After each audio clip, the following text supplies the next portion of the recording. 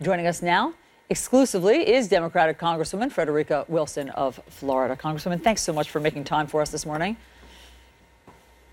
Good morning. So, I want to just, before we get into the specifics of what General Kelly said, I just want to get your thoughts on everything that has transpired over the past 48 hours. This very public fight that you seem to be engaged in with President Trump and General Kelly. President Trump just last night, in case you missed it, at about 11 p.m., tweeted about you. He says the fake news is going crazy with wacky Congresswoman Wilson, a Democrat, who was secretly on a very personal call and gave a total lie on content. What's your response to all of this? You know, uh, my emphasis today is on my constituents and helping them lay our hero to rest. That's where I'm, my head is today.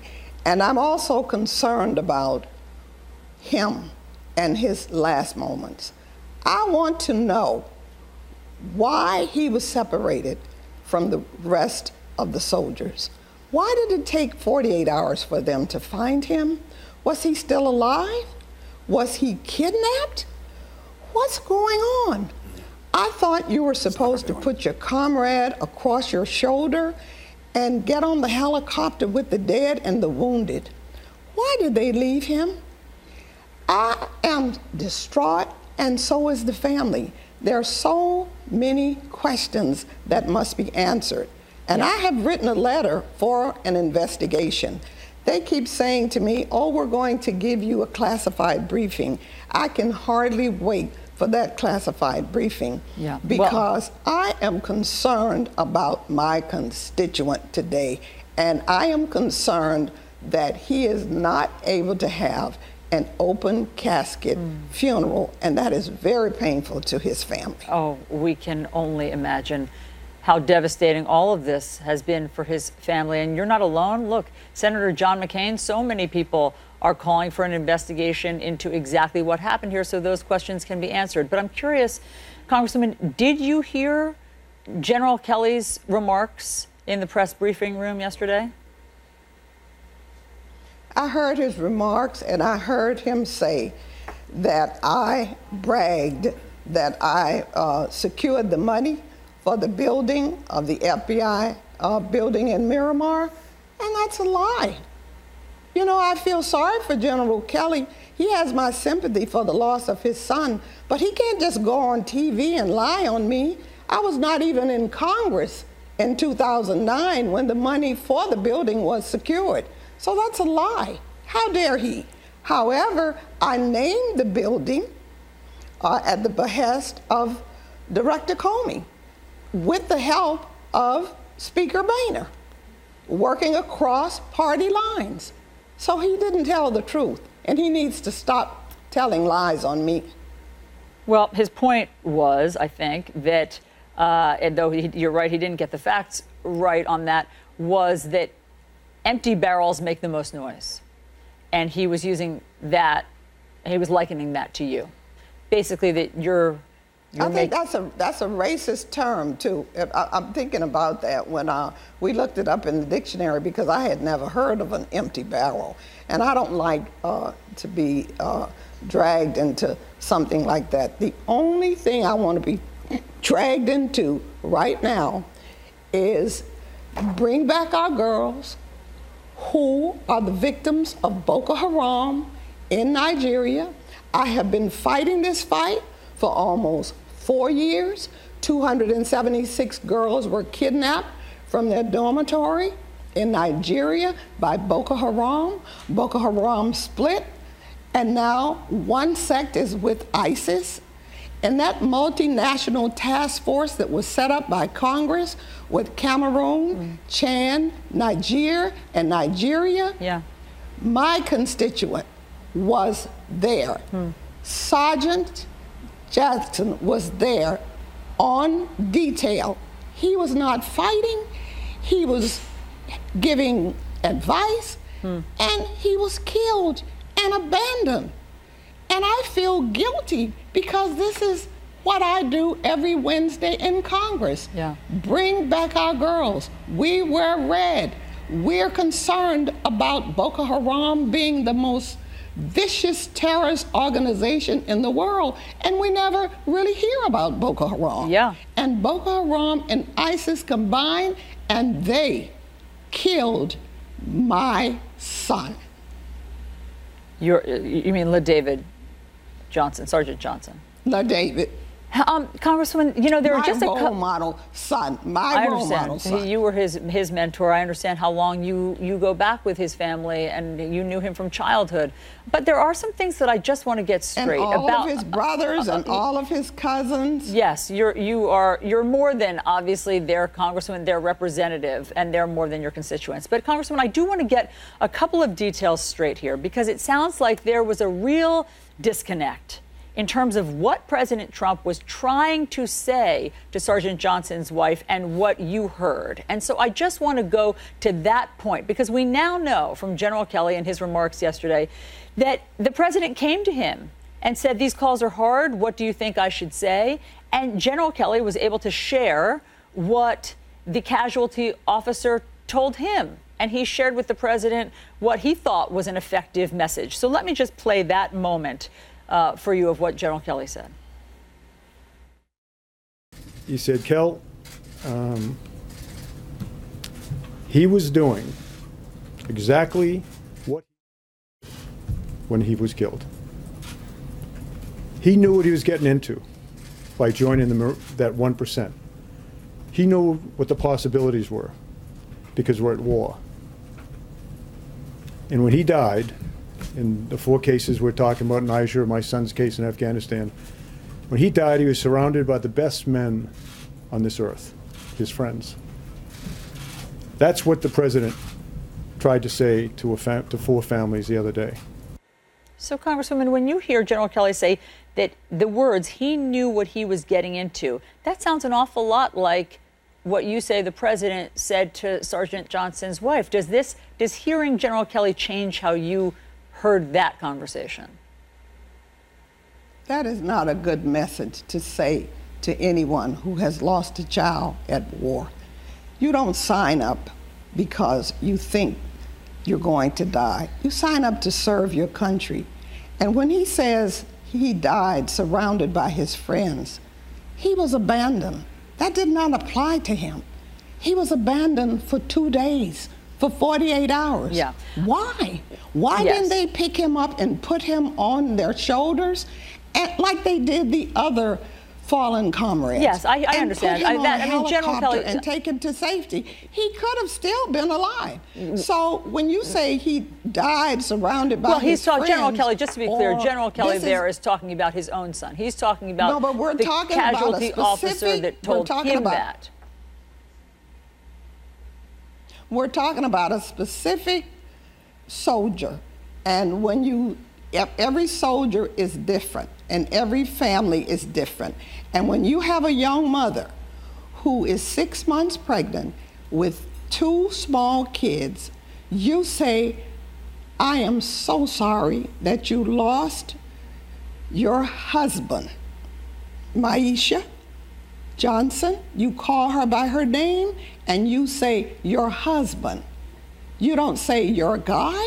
They were married. And you say, I am so sorry. You have our deepest sympathy. If there's anything this nation can do to ease your pain as your president, please let me know. I am so sorry. That's what I would have said. And that's what he needs to practice to say. He doesn't need to talk about what people sign up for. That is unconscionable. Um, he, General Kelly also said yesterday that he was absolutely stunned by your reaction, knowing from where he sits what the president intended, that he was stunned that you had misinterpreted it, according to him, and that he was stunned. He said he was also stunned that you would have listened in on that call because to him, those calls are sacred. Can you respond to that? I wasn't listening in. I was in a car where a, where a call was being taken on a on a on a uh, speakerphone. I wasn't listening in. Don't don't don't please don't uh, characterize it as that. And um, I still go back to what I said from the beginning. Call her by her name, Myeshia Johnson. Call him by his name, Sergeant LaDavid Johnson. He is not her guy, he is her husband. And that is the part that hurt her the most. General Kelly. That is the part. Uh, something I think that is important to bring up. General Kelly said that he was so stunned and frankly hurt by your words and your reaction that in order to gather his thoughts, he had to go to Arlington National Cemetery and he spent an hour and a half walking among the gravestones there of the people that he thinks, you know, have made obviously the biggest sacrifice and are the finest people in our country. And because he was hurt that way, I'm wondering if you have anything you'd like to say to General Kelly today. To General Kelly, I have lost members of the Role Models Project in war before, during the Iraq War. We know what it is. We feel for you just like we feel for LaDavid's parents and LaDavid's wife. You have my deepest sympathy, but I would never say to you, your son knew what he was signing up for. That would not be a part of my sympathy message to you. How does this public fight that you're having with the president and now General Kelly who called you out, obviously, yesterday. How does this end? Is it time for you all to get on a phone conversation? Is it time for you to speak to the president directly? It, it, it, it probably could end with the president reaching out to the members of the 5,000 Role Models of Excellence boys and helping me to make them good men in society instead of trying to degrade their sponsor who's working so hard every day to keep them on the right path, sending them to college, and trying to keep them away from the criminal justice system. If he wants to help us, I sent uh, something to him with the Congressional Black Caucus. It's called the Commission on the Social Status of Black Men and Boys. It would help us if he helped make that a law and establish that commission in the White House. That would help our entire community. And, and how about, Congresswoman, from your end? Are you willing to allow today that it's possible that you misinterpreted what the president's intentions were in that phone call to Sergeant Johnson's wife? There's nothing to misinterpret it. To misinterpret, he said what he said. I just don't agree with it. I don't agree that that is what you should say to, to, to uh, grieving families. But in terms of his intention there, there not being callous, pro- in terms of his intention not being callous, and maybe he got the tone wrong, but that he that you misinterpreted his intention or his callousness. Did I miss? I, I think my what I my intentions are not important in this today. This has to do with the family that's grieving. You, it's their intentions. They were hurt. I, I, I this is not uh, a question to ask me because uh, I can only imagine how she feels. And she was distraught that he kept saying, My guy, your guy, not your husband, your guy. She said he didn't even know LaDavid's name. So that, that was the most painful part. Can you tell and us? The other most painful part is she still doesn't know why her husband was missing for 48 hours. Yeah. So let's get to the real basis of why all, everyone is so upset and everyone is so grief stricken. It has absolutely nothing to do with the phone call. It has a lot to do with um, what we're talking about now. Yeah. Can you tell us how they are today? I know that this is going to be a very tough day for them, for Myeshia and her children. This is a very tough day for them. Everyone is trying to get through this. Everyone is tired of the back and forth, of the uh, TV cameras, and uh, the only reason I came on this morning was to say that I do not appreciate someone lying on me. If you lie on me, I'm going to answer because I'm not going to let you get away with it. That's the way I teach my boys, and that's the way I live my life. Don't lie on me. And also, we're hoping that very soon everything will calm down and we will watch a new birth, a new baby born to the Johnson family, a new baby girl. We're looking forward to that. And we will be there to support our heroes' family. The 5,000 role models is comprised of thousands of people, all races, creeds, and colors, strong men of honor who will love those children and love his wife, love his aunt and uncle, love his brothers, love all the little nieces and nephews, and we will be there for them. He is our son. He's our hometown boy. And we're going to do everything we can to lift that family up. And we call out to America to join us as we lift up LaDavid Sergeant, LaDavid Johnson.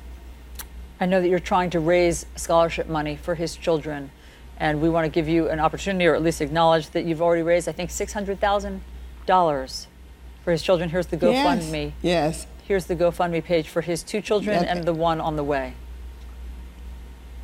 Yes, and we because we want them to be comfortable and to be able to go to college and live a good life. And they won't have their father to provide for them. So the 5,000 role models is making that happen. And we are so proud of our hero, so proud. And before long, we're going to name a street after him in Miami Gardens. So when his kids pass down that street, they'll say, That was named for my daddy. He was a hero in the army. He was a hero. He was a Green Beret. I can just see his little son, LaDavid Jr., now pointing that out to his friends. Well, Congresswoman Frederica Wilson, we appreciate you coming on New Day with your perspective on all of this and helping us to remember LaDavid Johnson. Thank you very much. Thank you for having me. I appreciate it.